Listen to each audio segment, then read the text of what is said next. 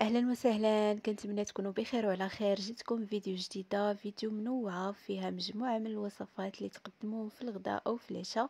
غادي نشارك معكم سلطة غنية ولذيذة جدا بالأرز بطريقة مختلفة وتحلية اللي ممكن تحضروها في العش في العشاء أو من وراء الغداء ولا في الكوتي لوليداتكم اللي كتجي هائله ولذيذه وكذلك غنشارك معكم طاجين معسل بالدجاج والبصله والزبيب اللي كيجي لذيذ بزاف ممكن تقدموه حتى آه، في العرضات ديالكم.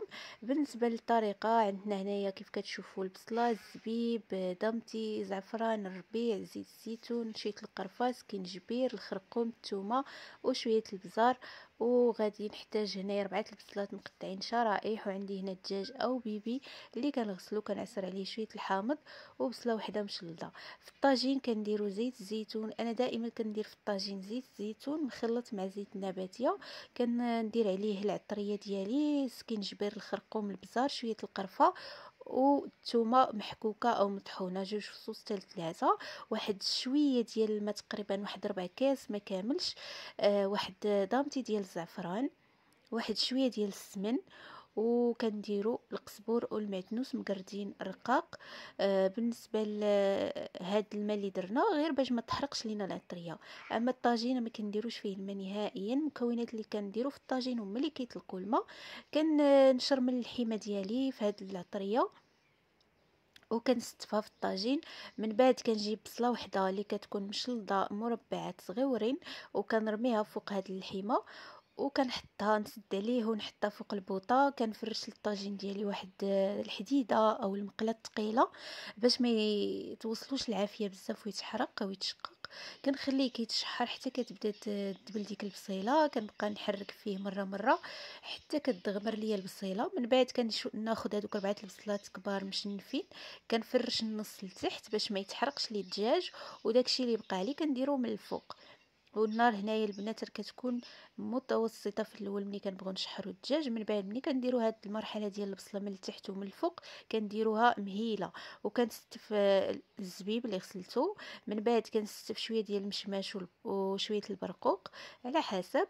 آه تقدروا ديروا غير بالبصلة والزبيب. وكنرش الملحة. من بعد كنرش بسنيده باش كيجيني هذاك البرقوق والمشماش آه معسلين وحتى ديك البصيلة وكندير شوية القرفة مطحونة وكنديروا حتى واحد العويد القرفة أنا نسيت هنا ما درتوش. آه صافي ومن كنسدو عليه وكنخليوه على نار مهيلة. مني كيبدا يطيب راه كيطلق الماء ديالو. شتو تبارك الله شحال طلق ديال الماء ما احتاجيت كاع أنني نضيف له الماء. ديك البصلة راه كتطلق الماء كافية. كنبقى نسقي الدجاج ديالي من الفوق حتى كيطيب. ملي كيطيب كنطفي عليه هو باقي فيه المرق بحال هكذا.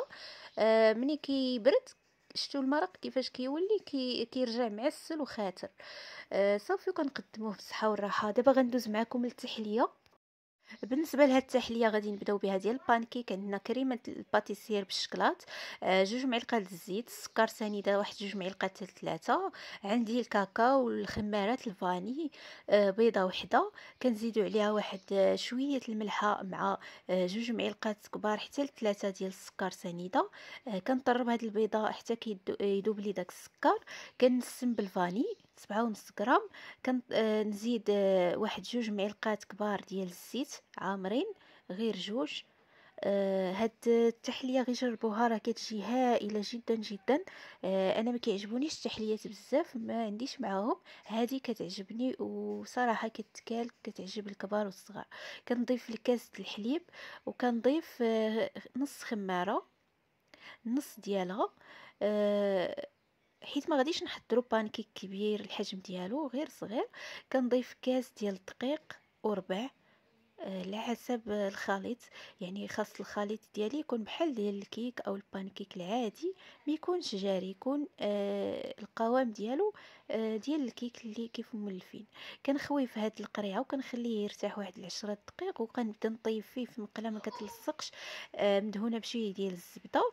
آه تقدروا ديروا غير قريعة ديال الماء تقبوا الغلاقه ديالها من الفوق وبداو آه تكبوا بها آه صافي هنا ملي كيبداو يديروا هاد الفقاعات بحال البغرير كنعرفوا أن الوصفة ديالنا راه ناجحة وكنحيدوهم راه ما كياخذوش الوقت بزاف دغيا دغيا كيطيبوا الكريمة غنحتاج فيها جوج كيسان عنبة ديال الحليب كنزيد عليهم sachet ديال الكاكاو ما يعادل معلقة كبيرة سبعة سبعة غرام. آه كنضيف عليهم معلقة آه حتى لجوج ديال السكر سنيدة. حيت غندير الشكلاط ما كنكثرش من آه، السكر وكنزيد عليهم جوج معلقات من ال crème pâtissière ديال الشكلاط. ممكن تعوضوها بال crème pâtissière العادية أو النشا أنا ما كيعجبنيش النشا في التحليات داكشي علاش دائما كندير غير ال crème pâtissière. وكندير آه، معلقة صغيرة ديال الزبدة في الأخير ملي كتعقد لي الكريمة. وكنزيد ليها واحد 8 القطع ديال الشكلاط حتى العشرة مربع. يعني في الطريقة ديال التحضير ديالها في الكاس كندير البنان البنان هو الأول نقطع دوائر معصر عليه شوية الحامض عاد كندير قطع البانكيك عاد كندير الكريمة وكنعاود عاوتاني بالبنان البانكيك الكريمة. آه وصافي كندير من الفوق شوية ديال اللوز اللي تيكون محمر آه ومهرمش من الفوق كنوع من التزيين باش كيعطيني هذيك القرمشة فوق من التحلية ديالي. آه صافي هنايا شفتوا معايا كيفاش آه الشكل النهائي ديالها. كنخليها في الثلاجه كنغطيها بالبلاستيك الغذائي من الفوق وكنحتفظ بهم. حتى كنقدمهم صراحة كيجيو لذاذ وزوينين بزاف جربوهم راه غادي يعجبوكم. آه كيجي داك المذاق ديال الموز كيف كنعرفوا كيتواتى بزاف مع الشكلاط والبانكيك حتى هو كتجي فيه ديك الكريمة كتجي آه مفزقاه كيجي زوين زوين بزاف. أنا ما عنديش كيف قلت لكم مع التحليات ما كيعجبونيش بزاف. ولكن هذه عجبتني وصراحة آه كنصوبها لأنها كتجي لذيذه آه كتجي لذيذه وفيها مذاق مختلف. آه دابا غادي ندوز معكم نحضروا الوصفة الثالثة. اللي هي آه، وصفة ديال العشاء أنا درتها. ممكن ديروها حتى للغدا. أنا درتها في العشاء. كيف ممكن؟ كذلك إلا كانت عندكم عراضه ودرتو داك الطاجين معسل تقدموها مع داك الطويجين اللي درت معاكم في الزليفات. يعني كنوع من السلطة. آه عندي فيها البنات آه هاد السلطة غنية جدا وكتجي لذيذة بزاف. على حسابي أنا دائما كنديرها بهذه الطريقة. كناخذ جوج كيسان ديال الرز مسلوق كاس العنبة سلقاه غير مع الملحة وشوية الزيت والماء كنضيف عليه حبة ديال المطيشه مقشره مقطعه مربعات نص بصلة مقطعه شرائح رقيقة جزرة وحدة محكوكة آه شوية ديال الزيتون مقطع دوائر. وكنضيف عليها الخس اللي غسلته مزيان وسقطرته من الماء وقطعته حتى هو. أه حبة واحدة ديال الخس كاملة ضفتها.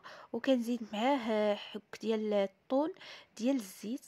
أنا كنستعمل هنا الاسقامري تقدروا ديروا أي نوع كيعجبكم. كنديروا بالزيت ديالو كندير جوج حيت عندي كمية كثيره ديال الروز تقدروا ديروا غير واحد. وكندوز نحضر آه، الصلصة اللي غادي نسقي بها هاد السلطة. فيها ربعه المعلقات كبار ديال المايونيز. كنزيد عليهم واحد ربع كاس ديال زيت الزيتون. وكنزيد عليهم شوية ديال البزار وشوية ديال الملحة. وغادي نخفف هاد لاصوص بشوية ديال الحليب.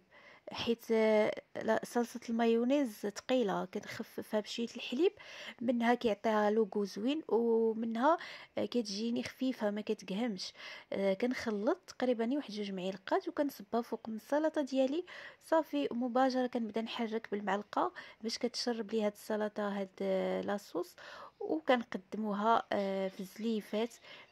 كيف قلت لكم وجبة مشبعة ولذيذة كوجبة عشاء سريعة وخفيفة أو لا كوجبة كسلطة مرافقة للأطباق الرئيسية ولا حتى كوجبة غداء علاش لا؟ ولا أيضا للخارجات ديالكم أو تعطيوها لوليداتكم هكا دابا مع المدرسة يديوها معاهم.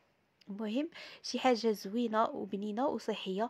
ما تنساوش البنات إلى عجبكم هذا الفيديو ديروا البارطاج مع الأصدقاء والعائلة.